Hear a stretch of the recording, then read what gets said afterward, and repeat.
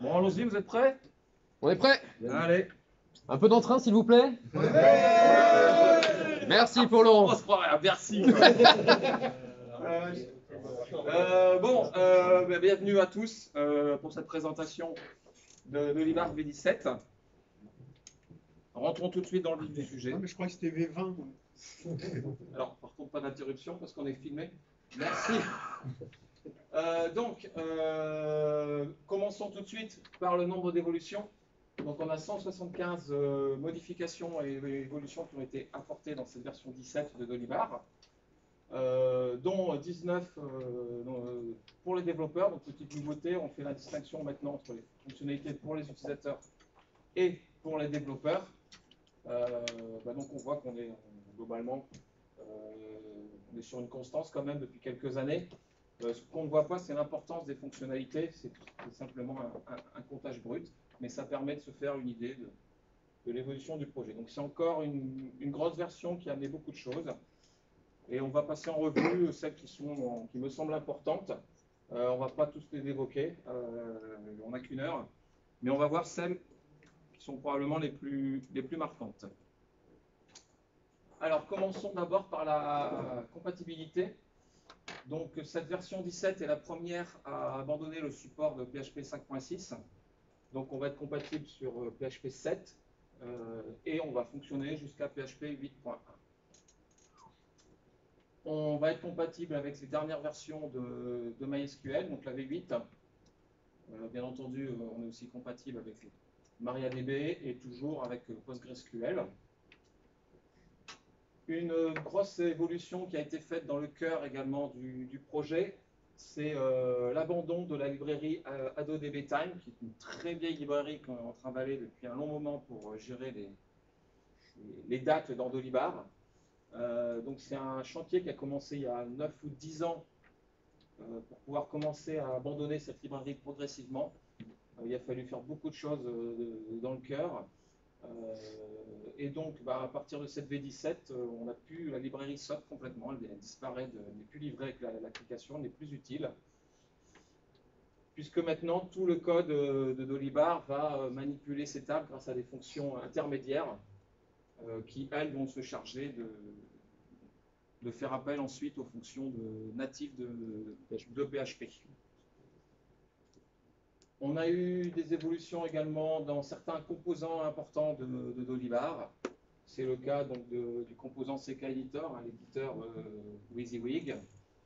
Euh, l'éditeur ACE Editor, qui est l'éditeur qui permet d'éditer du, HTML euh, ou d'autres types de fichiers, mais avec une coloration syntaxique.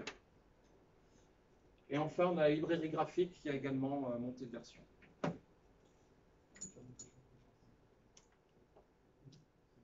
Alors, parmi les autres changements qu'on a eu dans le corps, euh, la première, c'est la réduction de la dette technique. Donc, euh, la dette technique, ici, en la mesure avec Scrutinizer qui va analyser de manière statique tout notre code et nous renvoie tout un ensemble d'indicateurs, d'anomalies euh, qui était de 1800 avant en V16 et qui est actuellement à 800. Donc, il y a eu beaucoup de, nettoyage dans ces anomalies remontées par Scrutinizer.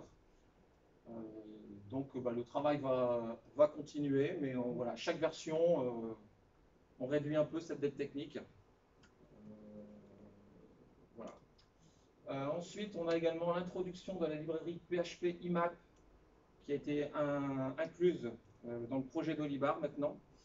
Euh, cette librairie nous permet de- d'accéder à IMAP de manière euh, euh, donc on n'utilise plus la méthode native de PHP, mais on va utiliser cette, euh, cette librairie.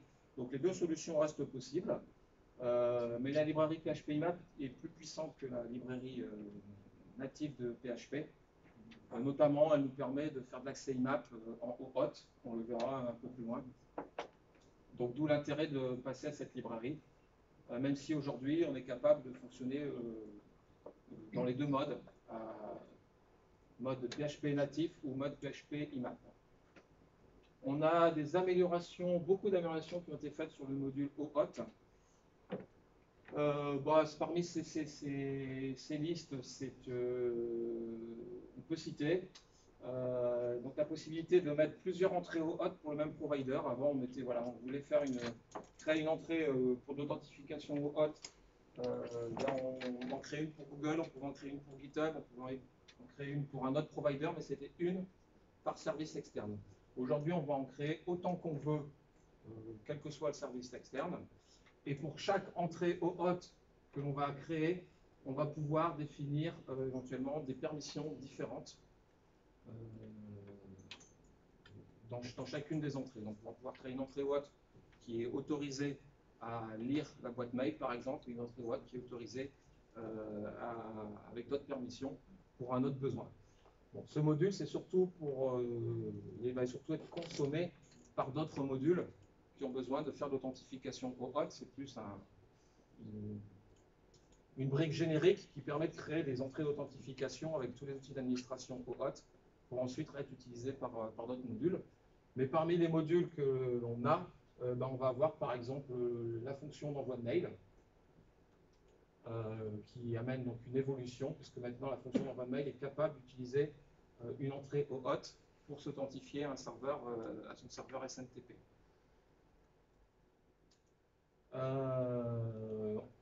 Pour citer d'autres modules qui euh, utilisent le OAuth, on a le, collecteur, euh, collecteur email également, euh, qui, est capable maintenant d'utiliser une authentification OAuth pour aller lire la boîte mail afin de collecter les mails et de faire ces traitements d'automatisation par rapport aux mails reçus. Une autre évolution très intéressante, c'est la possibilité de faire du copier-coller d'une image dans une zone de texte que l'on édite. Donc ça va marcher dans, les notes, ça va marcher dans, la descriptive des produits, n'importe où. On a, on a, une image qui a été obtenue par un copier, euh, peu importe de quel, quel logiciel. On va pouvoir faire simplement le coller.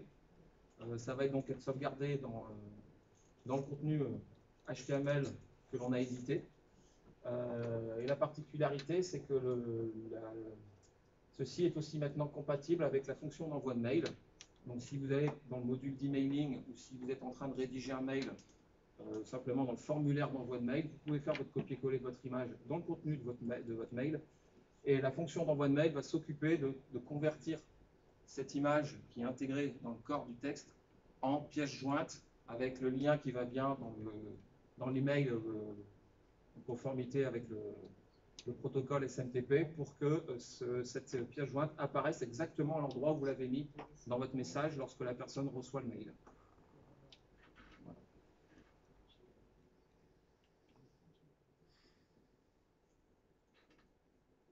Ensuite, euh, on a eu des évolutions de sécurité. Donc ça, depuis quelques versions, on fait, pas mal d'améliorations sur la sécurité, euh, qui est devenue un,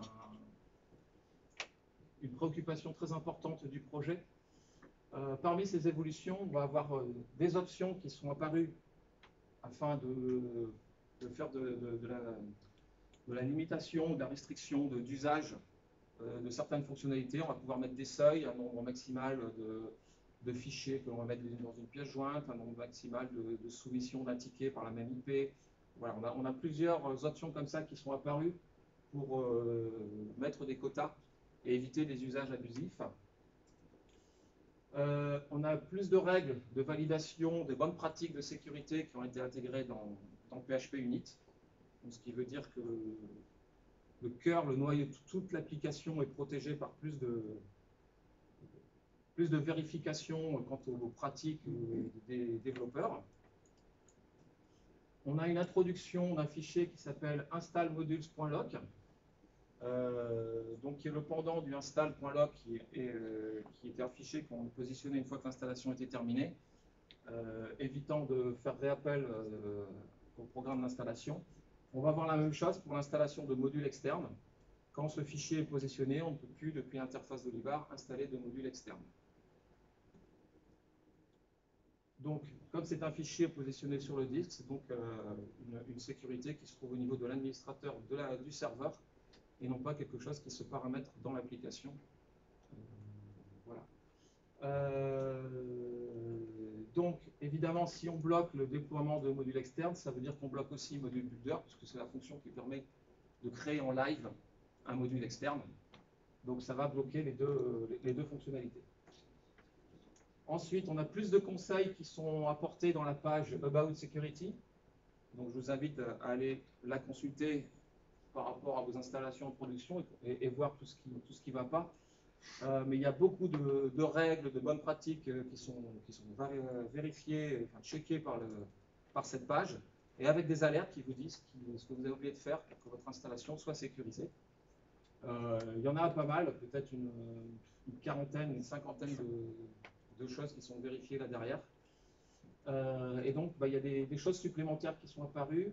Et on a également, parmi les choses qui sont apparues, des exemples, donc dans toujours sur cette page, donc des liens qui vous amènent vers des exemples de règles fail to ban qui vous permettent de protéger euh, votre Dolibar euh, sur des attaques de type DOS, donc euh, des utilisations intensives, sollicitations intensives de certaines de vos pages Dolibar, où vous avez possibilité, bah, par exemple, de, bloquer des tentatives de brute force, de bloquer des, des robots qui utiliseraient vos pages publiques pour essayer de soumettre des formulaires à outrance. Euh, voilà. avec ces quelques règles, vous avez la possibilité de mettre des blocages qui ne sont plus au niveau applicatif, chose qu'on a intégrée ici, mais un blocage encore plus puissant qui va se trouver au niveau système. Enfin, on a eu des bugs de sécurité corrigés d'ordre divers euh, qui ont été remontés suite à notre cinquième campagne de bug bounty qui est faite par notre partenaire Yogosha. Donc pour information, euh, bah, depuis maintenant euh, quatre versions, à chaque version on lance a une campagne de bug bounty où on rémunère des hackers euh, du monde entier qui sont sélectionnés et qualifiés par la plateforme Yogosha pour essayer d'éprouver l'application et remonter le maximum de, bugs. Ce n'est pas toujours des bugs, des fois c'est des failles, des fois c'est juste des, remarques. et donc tous ces points qui sont remontés sont traités. Et on voit ici le nombre de, de dossiers traités à chaque version. Euh, et donc nous en sommes donc à cette, à cette cinquième campagne. Donc il n'y a pas eu beaucoup, beaucoup de, retours dans cette, dans cette version. On commence à voir le, le flux qui, des remontées qui s'épuisent euh, et les chercheurs qui commencent à avoir du mal à trouver euh, des failles.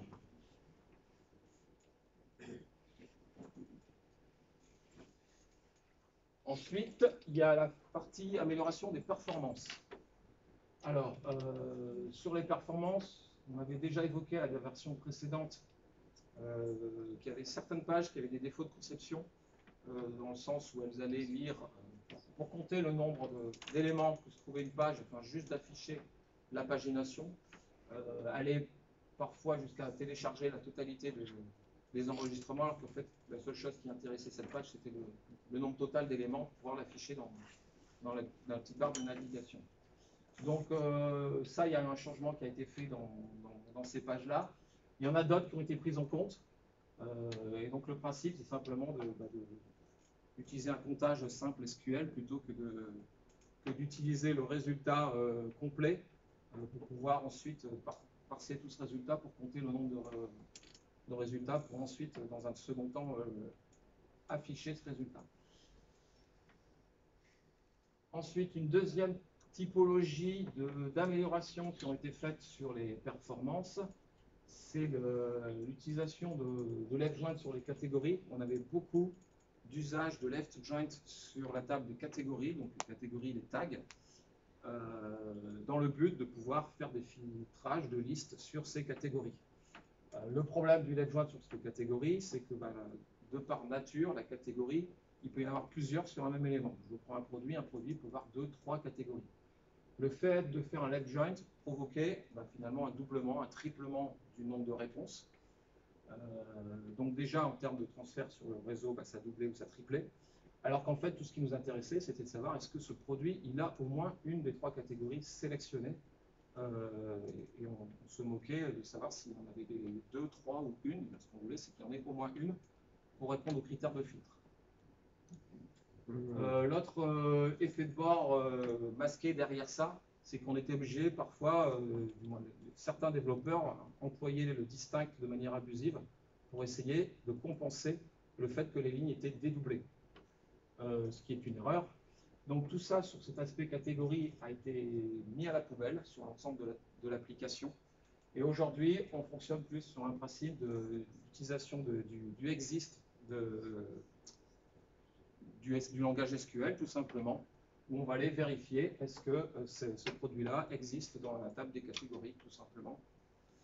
Euh, ce qui fait sauter le distinct euh, également et qui aussi a pour effet d'améliorer la lisibilité des requêtes puisque finalement, euh, une liste, c'est simplement un simple select dans, dans, la table principale de la liste, avec éventuellement des critères where derrière. Et ça va ouvrir la porte à une fonctionnalité euh, qu'on attend beaucoup, c'est la possibilité d'avoir un, outil de, filtrage générique, où le but de ce filtrage sera de ne pas toucher la requête, mais de simplement aller compléter éventuellement les critères qu'on a dans le where. Avec cette structure-là, euh, c'est exactement ce qu'on fait. On veut savoir si, le produit euh, appartient à une catégorie, bah, ça va simplement enrichir le where avec un, exist. Donc on ne touche plus à la, requête de base, c'est uniquement la, requête des conditions qui, qui, est impactée, donc ça va faciliter euh, l'adoption de l'outil de filtre générique. Voilà. On a encore des cas où on a du let join utilisé, je pense, de manière abusive dans l'application. Donc il faudra aussi les combattre. Et notamment le cas sur les, très peu l'utilisent, mais pour le cas de savoir si, l'objet est lié à un commercial ou pas, lié à une société qui fait partie du scope d'un certain commercial donné ou pas. Euh, donc ça, c'est des choses qui vont, devoir être faites aussi sur le même principe que ce qu'on a fait pour les catégories. Mais la, la méthode, elle est là. Euh, elle n'est pas très compliquée à mettre en œuvre. Il faut juste qu'on la généralise euh, sûrement dans la prochaine version. Ensuite, les améliorations du look and feel. Alors, je le cite à chaque version, mais c'est toujours vrai, euh, toujours un peu plus responsive. Euh, je vous invite à tester ce que donne l'application, notamment avec l'appli d'Olidroid. Vous verrez qu'aujourd'hui, on peut vraiment utiliser la totalité de l'ERP euh, sans difficulté avec un smartphone. c'est très difficile aujourd'hui de trouver un ERP qui a cette capacité. Euh, une autre évolution très intéressante, c'est qu'on peut mettre plusieurs critères de recherche euh, sur les, listes déroulantes avec autocomplétion. On commence à taper un, du texte et la liste s'adapter. Là, on va pouvoir taper deux mots. Euh, en version 16, quand on tapait deux mots, il recherchait la chaîne qui contient ces deux mots consécutivement. Là, il va chercher le mot 1 et le mot 2 de manière comme si c'était un OR. Et donc la liste va être capable de répondre, euh, s'adapter par rapport à deux critères de recherche plutôt qu'un seul.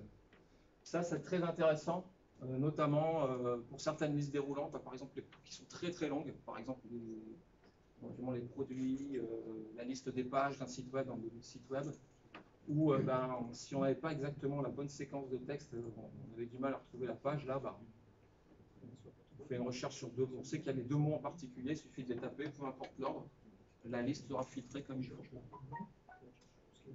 On a une fonction d'affichage en mode dark mode, donc les thèmes qui sont fournis par défaut sont capables de s'afficher en, mode dark mode. Et on va aller dans la configuration pour simplement dire euh, soit je veux le mode standard, soit je veux le mode dark, soit je veux le mode qui s'adapte à la configuration de mon device.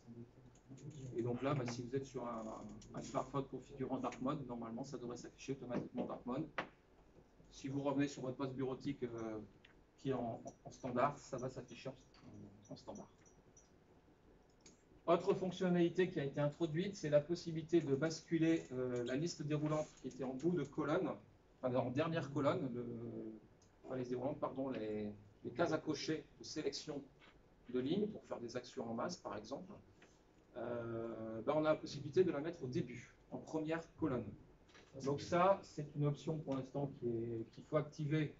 Euh, il n'y a pas encore l'option présente dans, les, pages de configuration.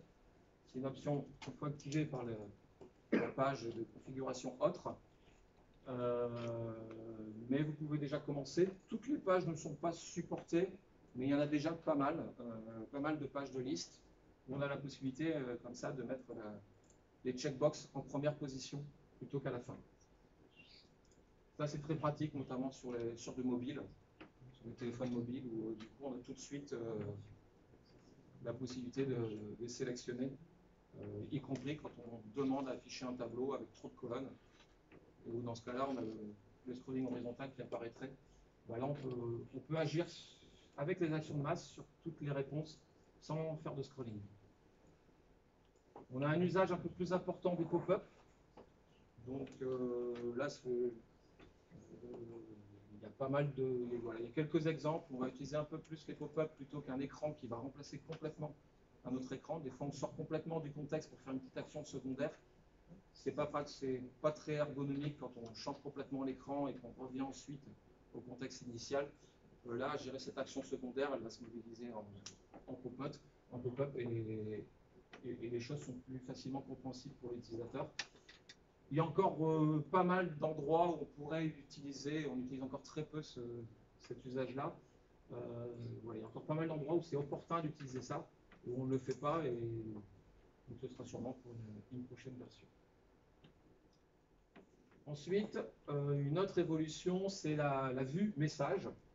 Dans Dolibar, on a pas mal de notions. Chaque notion a un mode d'affichage qui est le, le mode principal par défaut, qui est en général la liste.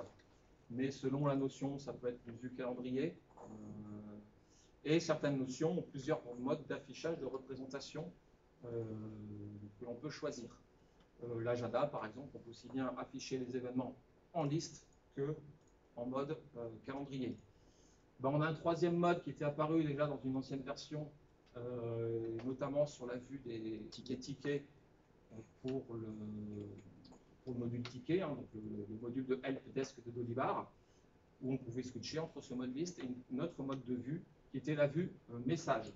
Donc la vue message, c'est une vue plus, euh, qui ressemble plus à une, à une vue séquentielle dans le temps avec un peu plus d'aspect graphique. Euh, bah, cette vue message, elle a été généralisée à d'autres éléments, notamment, on va la retrouver maintenant euh, sur la vue de la vue 360 de ce qui s'est passé sur la fiche tiers, et on va la retrouver également sur la vue 360 de ce qui s'est passé au niveau d'un projet. Euh, je ne saurais plus vous dire si c'est la vue par défaut ou pas, mais en tout cas, voilà, on peut basculer d'une vue à l'autre, euh, simplement en cliquant sur l'icône de, choix de mode de vue.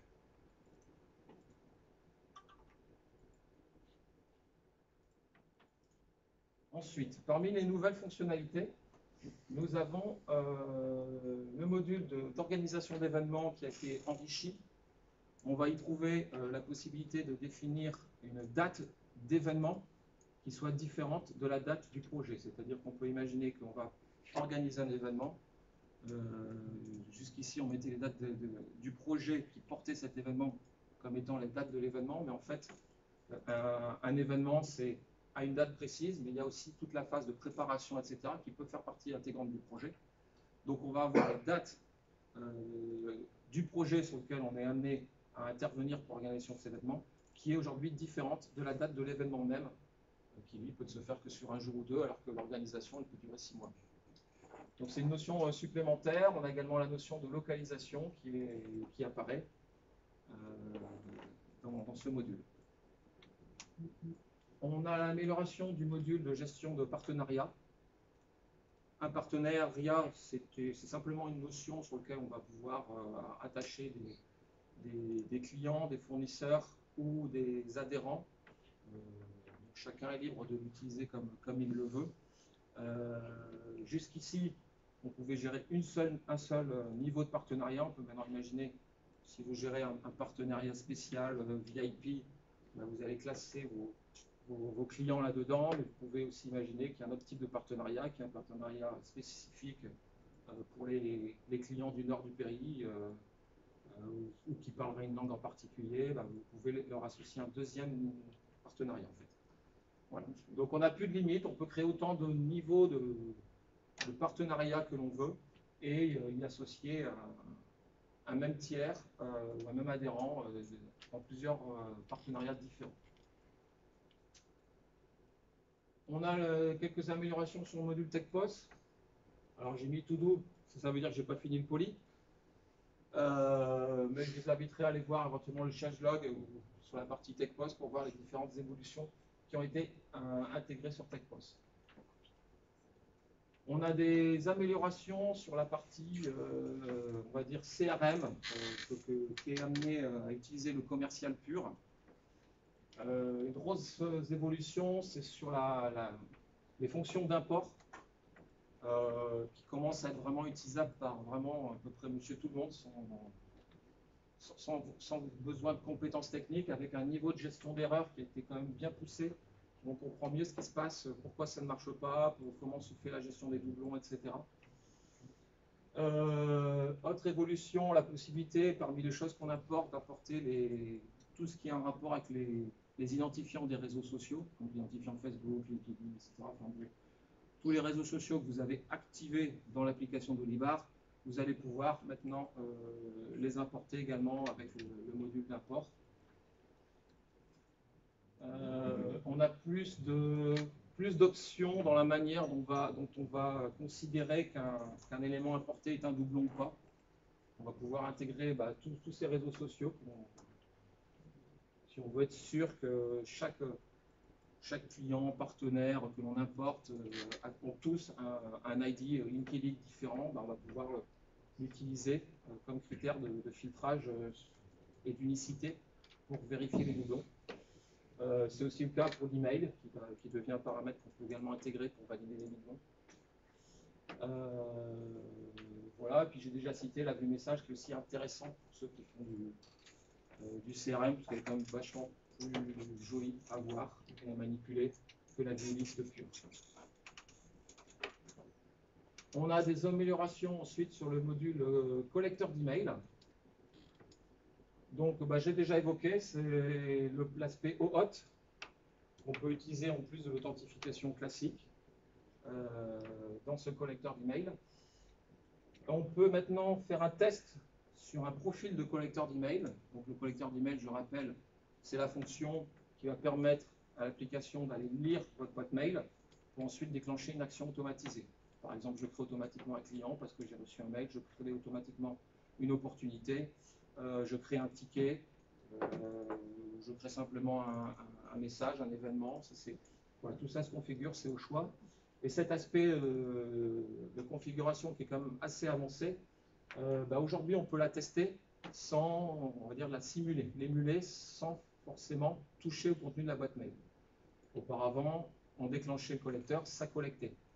Donc euh, ça appliquer toutes les règles. Si on avait fait une erreur dans les règles, ça pouvait collecter un mail et ensuite classer le mail comme étant collecté. Euh, ce ne sera plus le cas si on utilise la fonction de, test. Euh, je fais un test de collecte. dans ce cas-là, on ne touche pas du tout à la boîte mail, on fait juste une simulation et on a le, retour du nombre de mails lus, traités, des opérations éventuelles qu'on aurait fait si on l'avait réalisé pour de vrai. Ensuite, il y a une réécriture du module A7. Il ne faut pas trop m'en demander là-dessus. C'est un truc comptable. C'est pas trop ma spécialité. Mais en gros, le module euh, qui est au statut développement a été redéveloppé complètement. Euh, la, version initiale, on va dire, ne, répondait pas aux attentes euh, des, différentes personnes qui sont compétentes sur, sur ce sujet-là. Donc il a été réécrit et euh, il passe au statut expérimental, euh, il va quitter son statut de développement euh, au statut expérimental, mais sous une autre forme que ce, qui existait en, en version de développement en V16.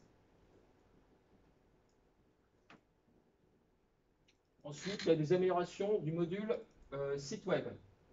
Alors, commençons par la possibilité de basculer un site web, de le mettre online ou offline par un simple clic, et ce depuis la vue euh, d'édition du site web. On peut le faire pour un site web, mais on peut le faire aussi pour une simple page. Cette page devient online, offline. Euh, et dans ce cas-là, bah, la personne qui, essaie d'accéder va avoir un message comme si la page n'existait pas, donc un, autre fait. Hein. On a plus de templates. Euh, donc on avait deux templates, on en a, on en avoir six maintenant.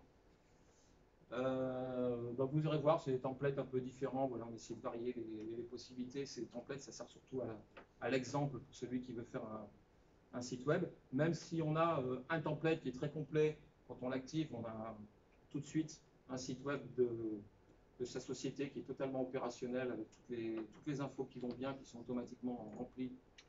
Et éventuellement, on peut aller juste modifier quelques textes ou quelques images. Euh, les autres templates sont plutôt fournis à titre euh, de, démonstration, d'exemple. Euh, notre amélioration, c'est qu'on va pouvoir ajouter des templates, prendre un template depuis une place de marché, l'ajouter comme étant template possible pour faire un site web, ou l'enlever. voilà, donc on a cet éditeur qui permet d'enlever, de supprimer, d'ajouter ou d'enlever des templates comme on veut. Là, l'autre chose intéressante, c'est que ces templates, euh, avant, ils étaient modélisés comme un fichier zip qui, portait, qui était autoportant, qui portait toutes les informations du template. Donc, il y avait les images, il y avait le code dynamique, il y avait la partie HTML, la partie JavaScript. Donc, tout ça, c'était porté par, par, ce zip. Euh, donc, ça avait l'avantage d'être simple, parce qu'en fait, quand il fallait déployer ce template chez un, client ou sur un autre Dolibar, il suffisait de donner ce zip et automatiquement le site web était euh, chargé opérationnel. Euh, aujourd'hui, c'est sauvegardé sous forme simplement d'un répertoire dans le répertoire des sources officielles de Dolibar. Donc c'est un répertoire comme les autres, avec des fichiers comme les autres, et des fichiers, donc des fichiers HTML, des fichiers sources SQL, des fichiers sources JavaScript. Donc on stocke plutôt les sources que le zip. Par contre, la possibilité d'avoir du zip, elle perdure. C'est-à-dire que quand vous avez besoin d'exporter votre template ou votre site web qui est tout fait, euh, pour, le mettre sur un autre environnement ou donner à notre client, bah, vous avez toujours le bouton pour fabriquer ce gros zip que vous pourrez importer euh, sur un autre, euh, une autre instance de Dolibar. Par contre, c'est beaucoup plus simple pour ceux qui veulent maintenir les templates, les faire évoluer, notamment les, développeurs de Dolibar qui veulent enrichir le template puisqu'on peut, suffit de toucher aux sources directement, il n'y a plus besoin de dézipper, toucher aux sources, rezipper, et ensuite soumettre le, zip au, projet euh, dans, le code source de l'application. Là, on, touche directement au fichier concerné et on commit comme n'importe quel autre fichier source, et ça met à jour le template. On a la possibilité d'effacer un site web complet par un, un simple clic, bien sûr, avec un message de confirmation il faut que le site soit aussi offline pour pouvoir y arriver. Mais on n'est plus obligé de passer par l'étape où il fallait euh, supprimer euh, les pages individuellement pour avoir la capacité de supprimer le site.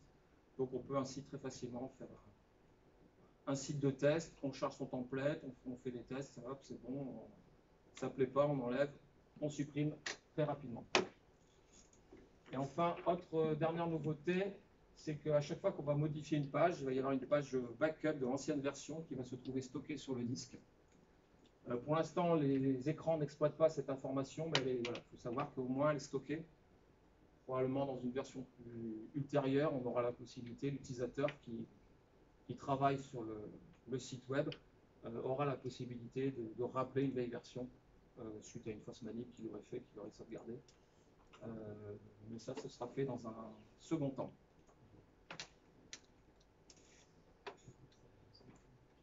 Ensuite, on a le module Webhook qui était en mode développement dans la V16, qui passe en expérimental. Donc, je rappelle le but de ce module, euh, c'est un événement métier d'Olibar, quel qu'il soit. L'événement métier, c'est création, modification, suppression, euh, mise à jour de n'importe quoi, un client, une facture, un devis, une note de frais, une écriture comptable, peu importe.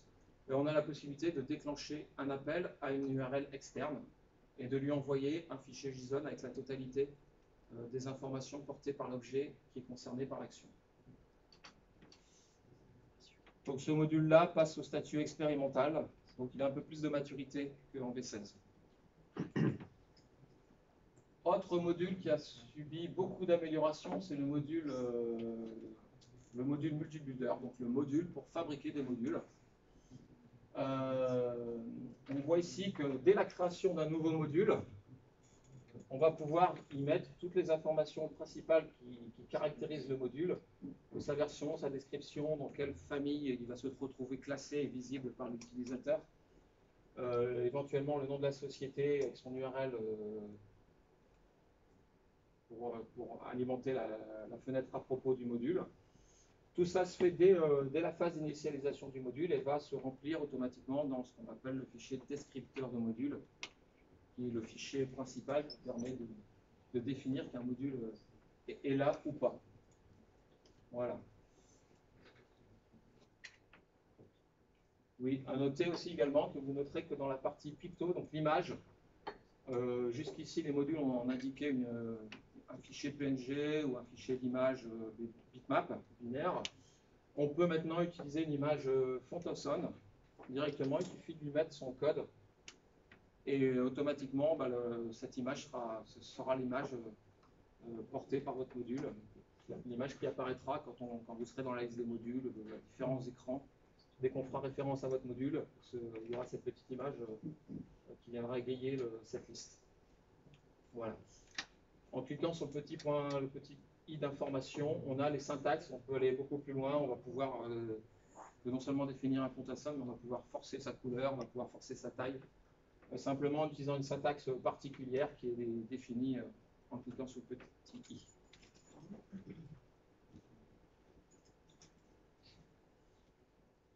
Autre amélioration du module Builder, c'est cette ligne ici, quand vous créez un nouvel objet, donc une notion que vous voulez gérer par votre module, donc en, en langage plus technique, une, table SQL, euh, vous avez la possibilité de fabriquer cet objet, non pas par des propriétés que vous allez saisir à l'appareil, vous n'allez plus dire j'ai le nom, j'ai le prénom, etc., mais vous allez directement aller chercher une table SQL existante dans votre Dolibar. Vous allez pouvoir aller dans la liste déroulante et lui mettre le nom de cette table. Et puis générer automatiquement le, module pour euh, travailler sur cette table, donc avec les écrans de liste, de création, de modification, vont être générés sur la base de toutes les propriétés de cette table. Euh, voilà, donc ça c'est une, grande amélioration. Et bien sûr, ça met à jour aussi bien les fichiers PHP euh, CRUD, donc les, classes qui vont permettre de faire les mises à jour, les updates, etc.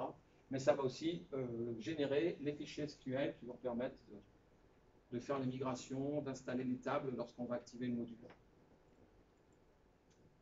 Autre changement, on va avoir plus d'attributs euh, modifiables avec le module Builder.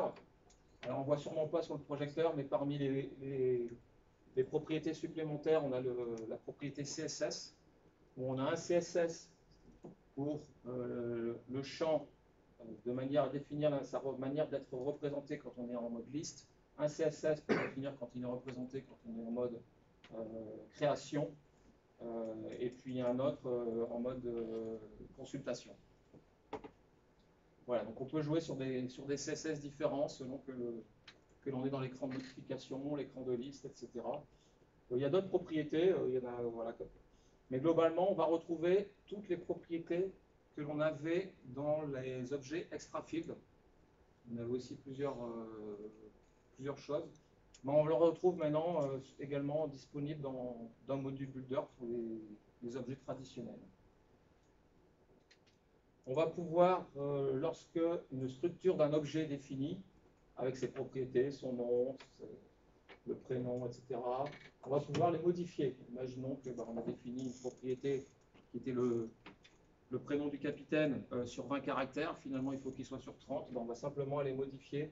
On n'est plus obligé de supprimer la propriété pour la recréer, on peut directement la modifier, on va juste mettre 30 au lieu de 20 euh, dans, cet outil d'édition des différents euh, champs qui caractérisent un objet. Et enfin, la plupart des fichiers qui sont générés euh, par module builder, donc je parle des fichiers, le fichier de l'API, le fichier de test unitaire, le fichier des classes PHP CRUD, le les fichiers SQL, on va en général très souvent avoir une petite, euh, une petite poubelle qui va permettre de le supprimer si on n'en veut pas. Module Builder va être capable de générer beaucoup de choses. Des fois, on développe une notion, on se moque complètement d'avoir l'onglet euh, pièces jointes sur, sur cet objet-là. On veut juste gérer l'objet, on ne peut pas y mettre des pièces jointes. Ben, on va simplement, cliquant sur la poubelle, dire ben je ne veux pas, je ne veux pas cet onglet supplémentaire. Euh, voilà, je ne veux pas l'onglet contact, l'onglet euh, des notes, je ne veux pas non plus la vue de l'agenda par rapport à cet objet. Mais ça va être pareil également sur les API. Si cet objet, je ne veux pas qu'il soit accessible par API, ben, je vais supprimer directement le fichier API. Et on va pouvoir simplement en cliquant sur un clic, le, petit plus en général qui remplace quand le fichier n'existe pas, le refabriquer. Donc on a beaucoup plus de souplesse euh, sur les fichiers qui vont être générés, mais on se retrouve avec des modules beaucoup moins lourds, avec plein de fichiers dont on n'a pas besoin. Là, on va pouvoir vraiment activer des, désactiver les fonctions dont on n'a pas besoin plus facilement. On va le faire directement avec l'IHM module builder. Voilà. J'ai fait à peu près le tour euh, des différents changements possibles. Je vous laisserai aller voir le détail complet des 100, on doit être à 170 évolutions euh, dans le changelog.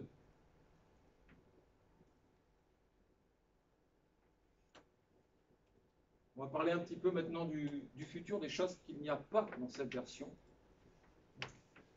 Euh, donc des choses qui ont déjà été des, chantiers entamés euh, déjà de longue date, donc euh, qui sont encore très attendus mais qui ne sont pas encore disponibles dans cette V17. La fonction de, reporting générique qui permet d'avoir des graphiques ou des tableaux croisés sur à peu près n'importe quelle notion de dolibar simplement en faisant quelques choix à la souris de, colonne d'un axe X ou d'un axe Y. Euh, donc le, sujet est un petit peu avancé, mais il n'est pas encore aujourd'hui disponible euh, en production. Euh, j'en ai parlé du, module Builder, donc on a vu les, évolutions, mais il y a également une évolution un peu latente, c'est qu'il y a beaucoup plus de maturité dans la gestion d'erreurs, dans, les, choses dans la manière dont sont présentées les choses, les, les tooltips, les, les, aides à présenter aux développeurs sont beaucoup plus complètes, euh, au point que on peut commencer à envisager que ce module builder ne soit plus un simple outil low code où on fabrique du SQL, du, code et on a un module opérationnel euh, prêt pour que le développeur aille ensuite personnaliser et faire les choses que le module builder ne serait pas faire. Mais on pourrait très facilement imaginer que ce devienne carrément un outil no-code, c'est-à-dire qu'on aurait, euh, on pourrait fabriquer un module de A à Z à la souris, euh, sans qu'il y ait aucune intervention dans du code. Euh, on en est franchement plus très loin. le low-code restera bien sûr toujours d'actualité, on pourra toujours aller modifier. L'idée c'est de faire du low-code plus du no-code, ça va selon le besoin. Euh, il y a encore quelques modules également qui sont dans les, en phase de développement euh, ou au statut expérimental et qui doivent être encore euh, améliorés, plus testés, enrichis pour passer au statut stable. On a évoqué le module Webhook tout à l'heure qui, est passé de, qui passait au statut expérimental. la gestion des, des, compétences. Des compétences. C'est même possible qu'il passe à un statut plus avancé encore. Ça, c'est c'est à voir. Il euh, faut savoir que la version V17 va sortir en janvier, donc on a encore du temps pour valider certaines choses. Il est possible que ce module euh, passe en stable. On le, on le saura vraiment qu'au dernier moment. Demain. Euh, il y a le module Workstation aussi qui est dans les cartons et qui est aussi pas mal avancé. qui lui aussi peut se retrouver dans la V17. Ça aussi, c'est sous réserve d'un retour de stabilité suffisamment bonne dans les tests qui vont avoir lieu dans, la phase de debug qu'on a entamée. On a également le module Zapier, euh, un début de module qui a été entamé, qui lui est vraiment au statut de développement BookCal, qui est un module qui permet de permettre euh, à un commercial de proposer euh, dans son mail un lien pour prendre un rendez-vous. Il va définir ses plages de disponibilité. Tous les mardis de 8 à 10, j'accepte des rendez-vous de 30 minutes et grâce à un lien, ben, n'importe qui pourra euh, voir euh, et prendre un rendez-vous euh, qui sera donc enregistré dans le calendrier d'Olibar automatiquement. Voilà. la traditionnelle liste des fonctionnalités stratégiques est toujours disponible en ligne sur le GitHub. Je vous inviterai à aller la consulter. J'en ai fini pour cette présentation de la V17. Euh, on va en rester là. Et puis, ben, je souhaite à toute l'assemblée qui est ici, 28 euh, personnes, peut-être même 29 qui sont là pour, pour commencer à travailler sur le debug de cette version, bah, bon courage. Euh, on compte sur vous pour avoir cette version prête pour janvier 2023. Voilà.